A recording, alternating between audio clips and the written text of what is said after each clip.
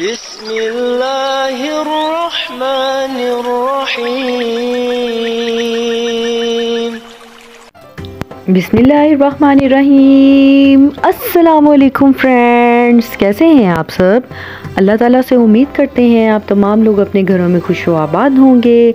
अल्लाह ताला आप सबको यूँ ही अपने घरों में हिफ्ज़ अमान के साथ रखे। इन्हीं नेक दुआओं के साथ आगे बढ़ते हैं। वीडियो की जानब सहरी का वक्त है। आप सबको सेकंड रमज़ान बहुत बहुत मुबारक हो। और आटा यहाँ पर मैंने आते ही गूंदना शुरू किया है क्योंकि आटा जो था वो बिल्कुल थोड़ा था और मैं चॉपर में आटा गूंद रही होती हूँ और बहुत ही इजीली और फास्ट जो है वो आटा गूंद जाता है और बहुत ही स्मूथ तो बस यहाँ पर मैं पानी डाल देती हूँ बीच में थोड़ा सा और इससे पहले जो मैंने आपके सामने डाला, थोड़ा सा मैंने ऑयल डाला था और कलौजी डाली थी। कलौजी, आपको बताया हदीस नबी भी है कि मौत के अलावा हर बीमारी में शिफा है और इसके साथ दाने जो है ना, वो बहुत खाना जो है, वो बहुत ही अच्छे हैं, मुफीद हैं। तो इस तरह जो है ना, वो वैसे तो खाए नहीं जाते सच पूछें तो। तो मैं क्या करती हूँ कि आटे में मैं मिक्स कर लेती हूँ तो कम अज़ कम सात दाने तो हर किसी के मुँह में रोटी के ज़रिए जाते ही होंगे। तो बस इसी नीयत के साथ जो है, वो मैं इसमें कलौजी डाल देती हूँ। अच्छा उसके बाद दाल मैंने बनाई हुई थी और दो दिन हम लोगों ने शहरी में दाल ही चलाई है टुडे भी और नेक्स्ट मॉर्निंग भी। तो यहाँ पर मैंने कंटेनर में जो है वो कुकर वॉश करके धो दिया था और शिफ्ट कर दिया था मैंने इसको कंटेनर में और फिर मैंने इसको सुबह के वक्त फ्राई पैन में डालकर गर्म कर लिया। और चाय भी मैंने पहले ही बना ली होती है और उसके बाद जो है वो मैं पराठा बनाना शुरू करती हूँ। तो यहाँ पर पराठे बना रही हूँ हस्बैंड जो है वो मेरे वो खुश्क रोटी ही खाते हैं और मैं बिल्कुल भी रोटी नहीं खा रही और बिल्कुल ही मेरा दिल नहीं चाहता रोटी खाने को। बस मैं दही वगैरह और थोड़ा सा उसमें सालन डाल कर अंडा फ्राई करके तो अब वो डाल के खा लेती हूँ और मोर देन सफिशेंट होता है। इससे मेरा सारा दिन जो है ना वो जिस तरह फ़र्स्ट डे मैंने दलिया खा कर जो अपनी हालत ख़राब की थी, इससे मेरा जो है ना तबीयत ख़राब नहीं होती। तो बहुत जो है मेरे लिए सारा दिन एनर्जेटिक ही रहता है। तो खैर, रोज़ा तो रोज़ा होता है ना, आपको वो फील तो होता है, भूख तो लगती है, बहरहाल उस तरह वीकनेस फील नहीं होती। तो बस यहाँ पर धड़ाधड़ और फटाफट पराठों पे पराठे बन रहे हैं। बच्चे भी, बच्चों के लिए भी मैं पराठा बनाती हूँ। अच्छा फ़र्स्ट डे तो उन्होंने बिल्कुल नहीं खाया था। एकदम से रूटीन जो चेंज हुई और उन्होंने दो पराठे मैंने बनाए थे और दोनों ने एक पराठा भी पूरा नहीं खाया था। और लेकिन नेक्स्ट डे क्या किया, फिर मैंने जो है वो इनके लिए पराठे बनाए और दोनों ने खाए और पेट भर के इन्होंने ख़त्म कर दिए और बल्कि बेटा तो और मांग रहा था कि मम्मा और पराठा बना दें। तो मैंने उसे कहा कि बेटा, अब शहरी का टाइम बिल्कुल शॉर्ट रह गया है। और अगर मैं पराठा बनाने लग गई तो मेरी सैरी रह जाएगी। आप ब्रेड स्लाइस पे गुजारा करो। और फिर उसने स्लाइसिस के साथ जो है वो गुजारा किया। अच्छा यहाँ पर पराठा जो है वो मैंने बना दिए हैं। फटाफट से अच्छा दो ही पराठे काफ़ी होते हैं, लेकिन हस्बैंड के फ्रेंड हैं हमसाए हैं नेबर्स हैं और उनकी फैमिली इधर नहीं है तो उनके लिए भी जो है ना वो मैं शहरी मैंने भेजनी होती है तो पराठा उनके लिए भी जो है वो दो पराठे मैंने उस, उधर भी भेजने होते हैं। बस और बाकी जो हम खा रहे होते हैं, वो वो ही शहरी में खाते हैं। इसके अलावा दूध जो है वो जाग जो है वो मैंने लगाई थी रात को, लेकिन दही जो है ना वो जमा ही नहीं आई थिंक लेट काफ़ी लगाई। इस वजह से तो यहाँ पर जो है वो फिर बाज़ार से मार्केट से दही ले आए हस्बैंड और ये मैंने जो थी ना वो बाउल में निकाल ली थी। अच्छा इसको फेंट लेना बड़ी ही स्मूथ हो जाती है और विस्कर की मदद से तो बड़ी ज़बरदस्त लगती है। खाने में भी बच्चे इजीली खा लेते हैं। अदरवाइज़ वो जो पुटियाँ सी बनी होती है ना, वो बच्चे फिर दही छोड़ते हैं कि वो बार बार मुँह में आ रही हैं और इस तरह जब बिल्कुल स्मूथ हो जाती है ना तो वो बड़े शौक से खा लेते हैं। तो बस यहाँ पर मैं पराठे बना रही हूँ। हालाँकि ये इतना काम नहीं होता, सालन आपका पहले से बना होता है, लेकिन फिर भी टाइम ऐसे स्किप हो रहा होता है। सुबह सहरी के वक्त भी और अफ्तारी के वक्त भी ऐसे लगता है कि तीन के बाद जो है ना वो झट से पाँच बज गए हैं, चार तो बजे ही नहीं है। मुझे ऐसा फील हो रहा था जैसे टाइम स्किप हो रहा है जो है ग्रेजुअली आगे नहीं जा रहा। तो बस यहाँ पर अब मैंने लास्ट में हस्बैंड के लिए बनाई है खुश्क रोटी तो बस इस तरह तवे पे मैं जो है ना चिमटे से सेक लेती हूँ तो बस उनके लिए मैंने रख दी है।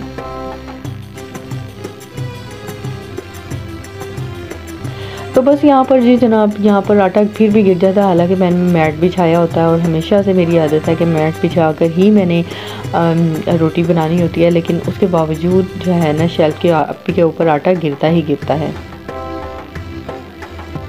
तो एंड में ये चाय बना रही हालाँकि मैंने चाय भी पहले से बनाई होती है, लेकिन एक दफ़ा फिर मैं इसको कोज़ी कर देती हूँ। बहुत ज़्यादा गर्म नहीं करती, क्योंकि लास्ट में बिल्कुल ही टाइम बहुत शॉर्ट होता है, और कोशिश करनी चाहिए कि अजान से पहले पहले आप अपनी सहरी ख़त्म कर लें।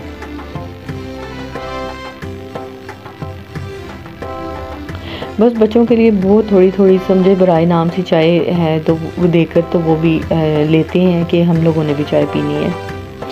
तो यहाँ पर अब चाय उनको दिया ही हूँ मैं और चाय मैं ख़ुद तो पीऊँगी नहीं। कभी कभी अब पी लेती हूँ, लेकिन अक्सर व बेशतर मैं जो चाय है वो स्किप कर रही होती हूँ। दही और अंडा जो है वो खाकर यही मेरी सैरी हो जाती है। तो बस यहाँ पर मैंने दही लिया है और उसके साथ मैंने थोड़ा सा दाल का सालन ले लिया है और साथ मैंने अंडा फ्राई कर देना बहुत ही कम ऑयल में।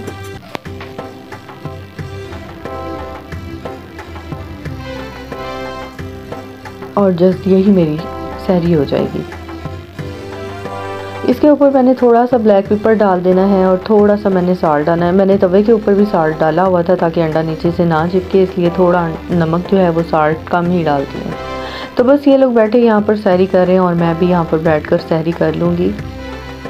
आगे हो गया है टाइम अफ्तारी का और मैंने बनाने हैं चना चाट। उसके लिए मैंने आलू भी बॉईल कर लिए हैं और प्रेशर कुकर में मैंने चने भी चढ़ा दिए हैं। मैंने इसको तकरीबन तीन चार घंटे पहले ही इनको सोख करके रख दिया था। यहाँ पर मैं पकौड़ों की तैयारी कर रही हूँ, बेसन मैंने, ये छलनी बहुत ही ज़बरदस्त है, आपको सुपर, को जो स्टोर है वहाँ से मिल जाएगी, हो सकता है जहाँ पे बर्तन शर्तन मिलते हैं वहाँ से भी मिल जाएगी तो बड़ा ज़बरदस्त था, सा ये स्ट्रेनर है, और इस तरह से सीव्स है ये, और जैसे वो नॉर्मल आप छाननी से छानते हैं, वो हाथ शेक करते हैं तो इधर उधर गिरता है तो उसके लिए बड़ा बर्तन लेना पड़ता है, लेकिन ये छोटे से बर्तन, छोटे से छोटे बर्तन में भी जो है ना ईज़ीली ये सीव हो जाती, कोई भी चीज़ आप डालें बेसन या आटा वगैरह। तो बड़ी ज़बरदस्ती है, मुझे बहुत पसंद आई है। यहाँ पर जो है, वो मैंने बेसन को अच्छे तरीके से उसको छान लिया है और अब मैं इसके लिए, पकोड़ों के लिए प्याज बना रही हूँ। नॉर्मली मैं पकोड़े आलू और प्याज वाले जो है, वो पकोड़े बना रही हूँ।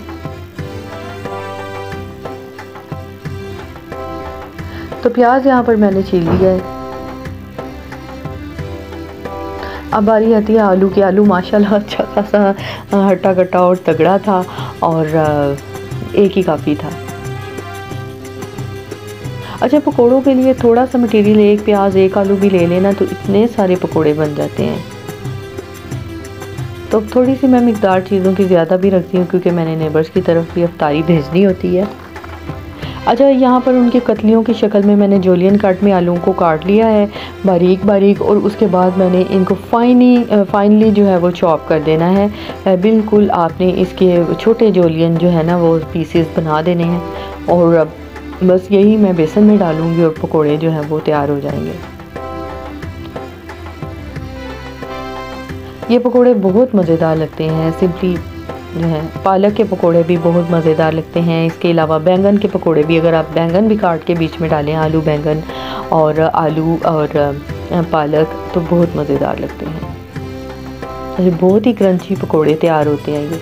तो बस ये काट कर मैंने इस तरह से हाथ की मदद से ही मैंने काट लिया है इसको और पकोड़े हम इसके बना लेंगे। काफ़ी मोटा ताज़ा और तगड़ा आलू था एक ही काफ़ी था। और मैं चाह मैं कह रही थी कि अगर और ज़रूरत पड़ी तो पहले मैं इसको काट के देखूँगी अगर ये कम पड़ा तो जो है वो फिर मैं दूसरा आलू काट लूँगी लेकिन ये काफ़ी रहा। अच्छा इस तरह से मैंने इसकी कर ली आ, कटिंग अब यहाँ पर मैंने प्याज भी काट लिया है। प्याज को भी मैंने बारीक बारीक काट लेना है। कतलियों की शक्ल में ही मैंने इसको काटा है और ये जब इसमें डालेंगे, हाथ से मैंने इसको मटेरियल को मिक्स करना है। स्पून से नहीं करूँगी। अगर स्पून से आप मिक्स करेंगे तो जो अनियन है वो खुलेंगे नहीं। और जब आप हाथ की मदद से करते हैं तो वो कुचले जाते हैं हाथ से और बहुत अच्छे तरीके से बैटर जो है वो तैयार हो जाता है। और यहाँ पर सब्ज़ मिर्चें भी मैंने काट कर बीच में डाल दिया ये तो पकौड़ों की जान होती है और बहुत ही मज़ेदार लगते हैं। बच्चे भले निकाल निकाल के साइड पर रख रहे हो, लेकिन हम लोगों को बहुत अच्छे लगते हैं। खैर मैंने मिर्चें बाकी इतनी ज़्यादा नहीं डाली थी क्योंकि मैंने ग्रीन चिली बीच में डाली थी ताकि बच्चे भी पकोड़े खा लें। और ये कारफोर से मैंने पकोड़ा मिक्स मसाला लेकर आई थी, थी। इतना ज़बरदस्त है बिलीव करें कि मैंने उधर भी खड़े हो के काफ़ी चाटा था। और जब मैंने उसको चेक किया तो बहुत ही अच्छा लगा और फिर मैं ले आई। और ये डाल के किसी और चीज़ की डालने की ज़रूरत ही नहीं बचती।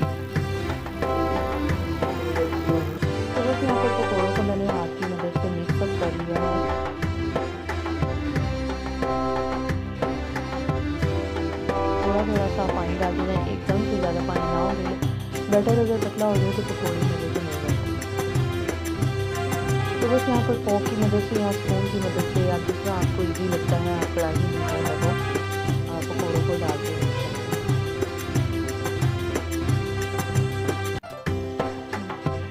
साथ ही मैंने क्योंकि ऊपर चने भी रखे हुए थे और आलू भी बॉइल हो रहे थे और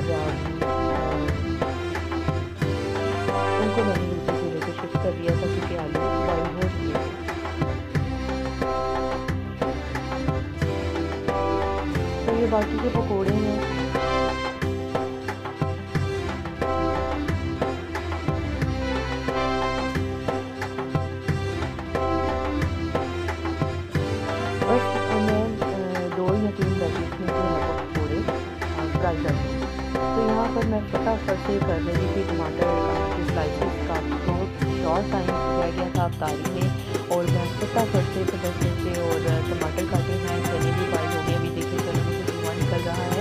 और यहाँ पर फ्रूट चाट में मेरी हस्बैंड ने मेरी मदद की थी उन्होंने फ्रूट काट के दिया था और मसाले चाट जो है, वो मैंने मिक्स कर दिए थे अच्छा अच्छा मैंने इसमें चाट मसाला जो है वो चीनी थोड़ी डाली है क्योंकि इसमें मैं मीठी चटनी डाल रही थी। अच्छा ये खुबानी की चटनी है, वो भी मेरे चैनल पर मौजूद है अगर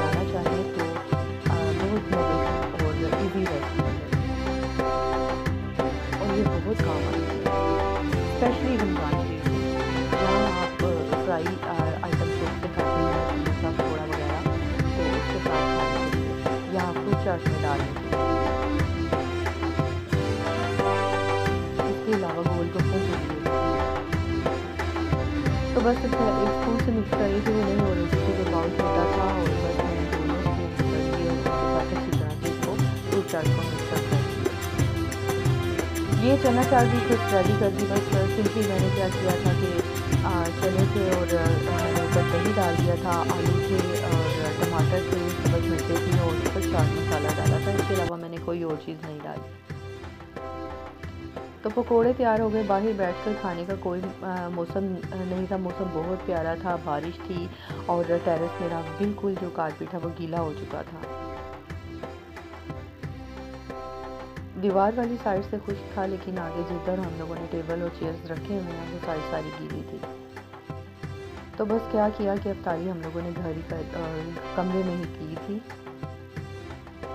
नीचे दस्तरखान बिछाकर टेबल के ऊपर भी पानी था क्योंकि बारिश का रुख मेरे टेरेस की तरफ़ था। तो बस ये अफ्तारी है, कुछ मैं हमसायों की तरफ़ भी भेज देती हूँ और हमसायों की तरफ़ से भी मेरे घर आ जाती है। इसी के साथ मुझे दीजिए इजाज़त। टिल द नेक्स्ट वीडियो अल्लाह हाफिज़।